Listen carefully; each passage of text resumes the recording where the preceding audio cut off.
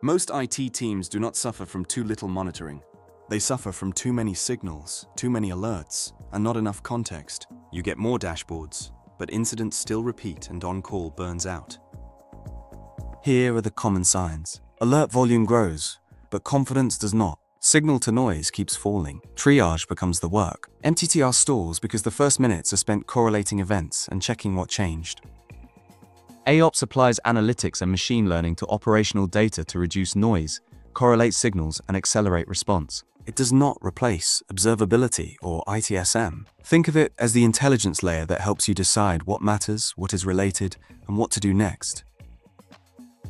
Most AIOps initiatives stumble for one reason. Teams connect every source, but do not normalize fields or align naming. A better approach is a minimum viable operational data model. The three pillars are metrics, logs, and events, and AIOps becomes powerful when you can connect them with consistent identifiers. You typically need monitoring and alerting, logs, APM or tracing, ITSM incidents, CI/CD change events, cloud or infrastructure events, and a service catalog for ownership. If you do not have a mature CMDB, start lightweight with service and owner mapping.